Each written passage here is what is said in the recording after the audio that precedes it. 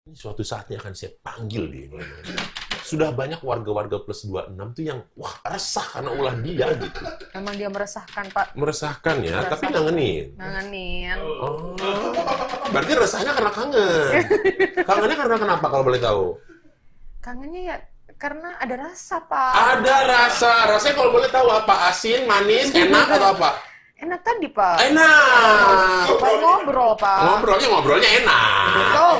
Ngobrolnya enak. Oh gitu Lala. Waduh, ini lumayan ini juga ya si Bebe. Bebe ini ya. Iya, Pak. Iya deh kalau begitu deh. Ya udah kalau begitu ini udah nggak bisa didiamkan nih. Ini saya harus ikut. Nyariin Bebe. Bukan. Apa tuh? Saya harus ikut Lala kerja. Biar saya lihat langsung apa yang Lala omongin. Ini kan saya lihat langsung kebayang gitu jadinya loh.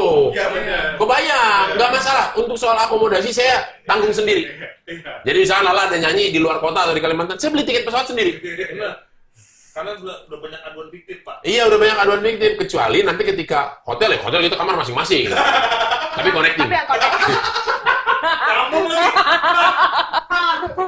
Kamu lagi. Oke ya. Oke. Tahu ya.